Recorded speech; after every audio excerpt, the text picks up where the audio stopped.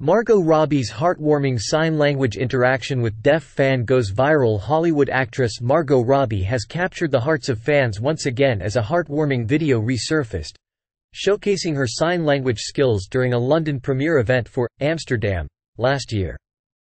In the clip, Robbie was handed a sign language cheat sheet by a fan, and to everyone's surprise, she confidently signed the alphabet to communicate with the deaf fan. The video went viral, with fans praising the Barbie star for her thoughtful and caring gesture. Many were touched by her genuine effort to connect with the fan and labeled her as perfect for displaying such kindness.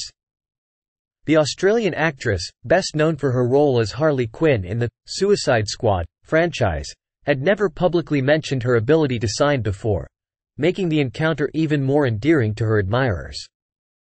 The heartwarming moment concluded with Robbie taking a selfie with a fan and expressing her delight at meeting him. In addition to her impressive sign language skills, Margot Robbie has been making headlines for her stunning appearances on the red carpet, promoting her latest film, Barbie, directed by Greta Gerwig. The movie has already achieved remarkable success, grossing $162 million since its theatrical release on July 21 making it the highest-grossing debut for a film directed by a woman.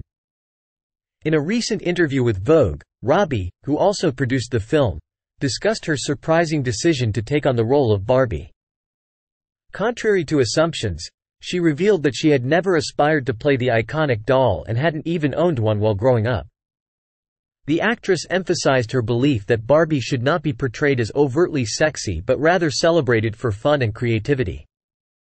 Margot Robbie's heartwarming interaction with the deaf fan has endeared her to fans even more, highlighting her caring and down-to-earth personality, both on and off screen.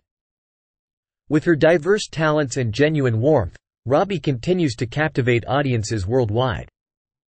Thank you for watching our channel. Don't forget to subscribe and like for more news updates.